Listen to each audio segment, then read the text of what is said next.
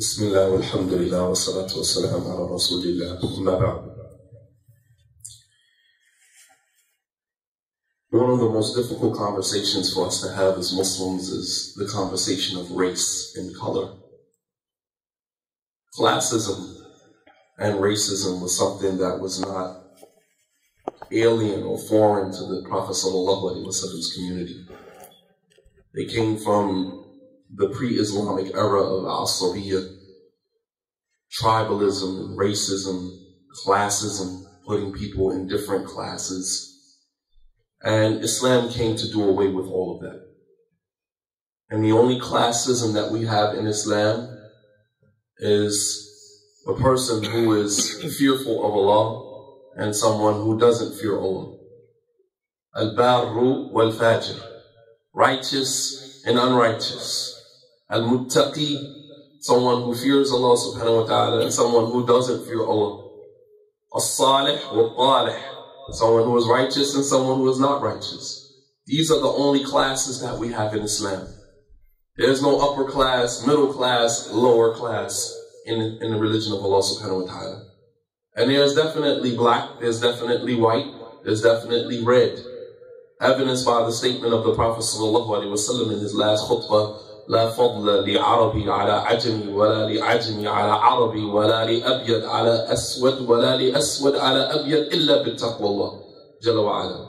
That there's no virtue over an Arab over a non-Arab, nor a non-Arab over an Arab nor a black man over a white man, nor a white man over a black man, except with taqwa. But that doesn't mean that there isn't color.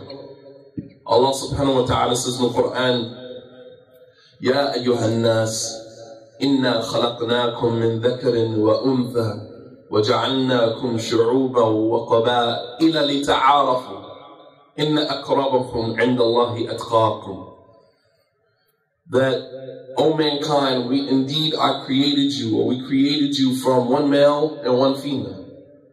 And that we've spread from that one male and one female many different nations and tribes.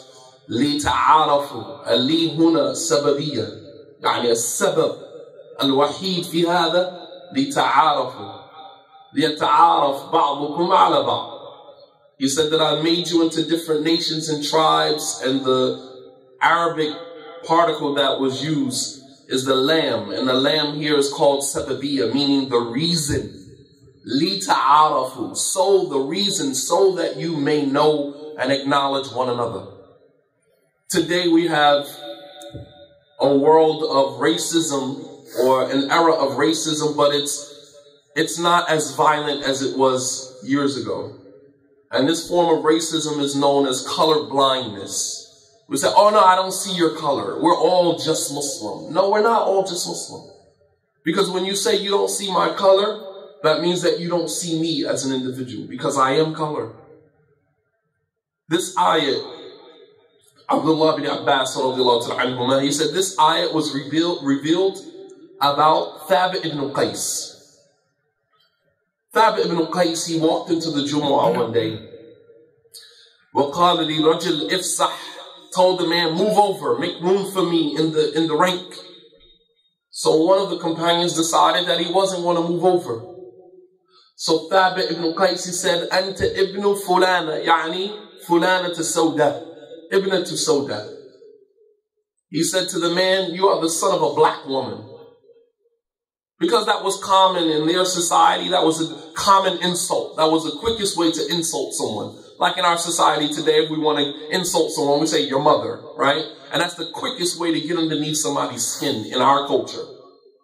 But in their culture, if you was from a different, you know, society, if you embraced Islam and you migrated to Medina, or you were a slave and then you were freed, although the slaves, they were freed from the physical bondage of torture and persecution, they was freed from the spiritual bondage of shirk and disobedience to Allah subhanahu wa ta'ala, there was still another bondage that they had to deal with, and that was social marginalization in their community. So he said to the man, Yabna Sauda, you are the son of a black woman. The Prophet ﷺ stopped the khutbah and he said, Men, men fulana. He said, Who is the one that said that such and such is the son of a black woman? Thabit ibn Qais said, Ana ya Rasulullah. It was me, O Messenger of Allah. The Prophet ﷺ told him, Ta'ala, come here. And he told them, Unzur fi wujuh al-qawm. kulli ma tara, أَخْبِرْنِي ma tara." He said, turn around and look into the faces of the people out here in the Jumu'ah. Turn around and look in the faces and tell me what you see. Thabit, he said, Ya Rasulullah, رأيت أبيض وأسود وأحمر he said, I seen white faces, I see black faces, I see red faces. The Prophet ﷺ said, Ajal ya thabit, لكن لا تفضل بعضهم على بعض إلا بتقوى الله جل وعلا. He said, yes, exactly. You see different color faces, but you don't give precedence or you don't give virtue to any one of them except with taqwa. The colors of their faces mean absolutely nothing in respect to where or how they should be viewed in society.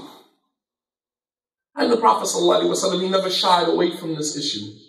While today we ignore it, and our children are left grappling with these issues. It might not be an issue for us, but it is definitely an issue with our children. And they see clearly through the hypocrisy of the, we're all Muslims, we're all brothers, Yet when your daughter wants to marry someone from a different culture, it's a problem. Yet when your son wants to marry someone from a different culture, it's a problem. But yet and still under the umbrella that we're all Muslim and we're all brothers in Islam. نحن إخوة. لكن هذه الأخوة لها شروط. ما شاء الله تبارك الله. But this brotherhood, it has conditions. But we can't, we can't shy away from these dialogues. We can't shy away from this conversation the Prophet ﷺ in his last khutbah, he addressed it. Throughout his life, he addressed it.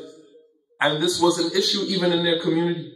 When the Prophet ﷺ wanted to marry Zainab, Zainab bint Jahash, who was the um, maternal cousin of the Prophet ﷺ. Zainab's mother, Umayma, bint Abdul Muttalib, she was the daughter of Abdul Muttalib, who was the sister of the Prophet's father, Abdullah. So that means that Zainab and the Prophet ﷺ were first cousins. Zainab, when she wanted to get married, she said, خطبني عدة من قريش. She said, a number of men from Quraysh proposed to me. She said, فأرسلت أختي حمنا إلى رسول الله صلى الله عليه وسلم حتى أستشيره. She said, so I sent my sister Hamna to go to the Prophet ﷺ and seek consultation from him on who I should marry. The Prophet ﷺ said to Hamna, وَمَاذَا عَلَيْهَا أَن تَتَزَوَّجِ من يعلم أن تتزوج من يعلمها كتاب ربها وسنة نبيها صلى الله عليه وسلم. The Prophet said to Hamna, why isn't Zainab going to marry someone who is going to teach her the book of her Lord and the sunnah of her Prophet sallallahu alaihi wasallam. Hamna said, وَمَنْ هُوَ يَا Rasulullah? Hamna said, well, who is this, O Messenger of Allah? The Prophet sallallahu alaihi wasallam said, Zayd, Zayd ibn Haritha. He said, Zayd ibn Haritha, who was an ex-slave. Hamna, she said, Ya Rasulullah, أتزوج ابنة عمتك مولاك?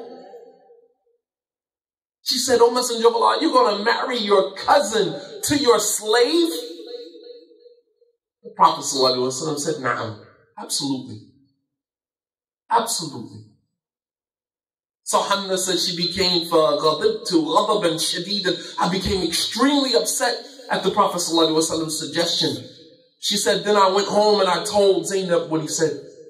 فقالت زينب فأعلمتني ما قال رسول الله صلى الله عليه وسلم فغضبت غضبا شديدا أشد من غضبها وقلت أشد من قولها. فقلت أنا خير منه حسبا. كيف يزوجني؟ كيف يزوجني؟ زيد بن حارثة وأنا خير منه حسبا. So when Hamna came home and she told Zainab, the Prophet ﷺ is suggesting Zayd ibn Haritha Zainab said, I became even more angry than my sister. And I said worse than she said. I said, I'm better than him ancestrally. My lineage is Quraysh. I come from the cream of the crop. He's a slave. How am I going to marry somebody like that? And Allah subhanahu wa ta'ala revealed the verse from the Quran. ما كان لمؤمن ولا مؤمنة إذا قضى الله ورسوله أمرا أن يكون لهم الخيرة من أمره ومن يعص الله ورسوله فقد ضل ضلالا مبينا That it is not befitting for believing male and believing female when Allah and His Messenger have decreed a matter that they will have any choice in it and whoever disobeys Allah and His Messenger has gone clearly astray. This ayah was revealed about the comment that Zainab made. And Zainab, when she found out that the ayah was revealed about her comment, she sent to the Prophet ﷺ, her sister again, asking Allah subhanahu wa ta'ala's forgiveness. And she said, I will never disobey Allah or His Messenger. If you see that Zayd ibn Haritha is better for me, then marry me to Zayd ibn Haritha. She said, فزوجني رسول الله صلى الله عليه وسلم زيد بن حارثة وكنت أرزا عليه يعني كنت أضايقه وأترفع عليه حتى طلقني وزوجني النبي صلى الله عليه وسلم. She said, so the Messenger of Allah صلى الله عليه وسلم married me to Zayd ibn Haritha, but I made his life miserable. I made his life miserable until eventually he divorced me and then the Prophet ﷺ married me. The point that I'm making is that this classism, it existed in their community. But the Prophet ﷺ never tired in addressing those issues, even till his last khutbah. While today, we say nothing about it, and we know it exists. And the fact of the matter is that while we turn a blind eye to it, and we act like it doesn't exist, our children, just like they see everything we do in the house as parents, they see all of our flaws, they see all of our flaws as a ummah. And if we don't address it, then we kind of we have to deal with that later on with our children, and we have to deal with it يوم القيامة in front of our Lord سبحانه وتعالى. هذا وصلى الله على نبينا محمد وعلى آله وصحبه وسلم تسليما كثيرا وآخر دعوانا أن الحمد لله رب العالمين والسلام عليكم ورحمة الله وبركاته.